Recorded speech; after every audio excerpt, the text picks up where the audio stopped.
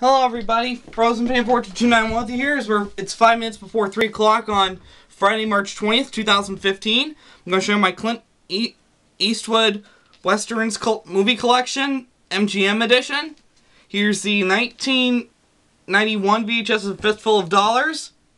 First Class Western Bravado by Bosley Crowther of the New York Times. And it was the first of the Man with No Name series. There you see a sticker label, and it was printed September 9th, 1992. Next, we have the VHS for a few dollars more from 1989. Clint Eastwood is back in the saddle in the role that made him an international star.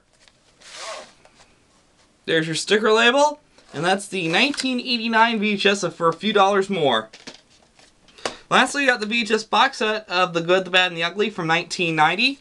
Clint Eastwood reloads one last time with the action-packed finale of the Man with No Name Westerns. This is, let me show you the part one tape. And it was printed on July 30th, 1991.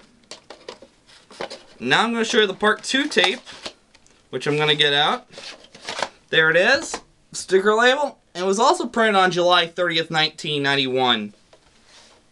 So, that's it for my Clint Eastwood Westerns movie collection, the MGM edition, and I will see you guys for the next video, which will be my two different VHS copies of Philadelphia.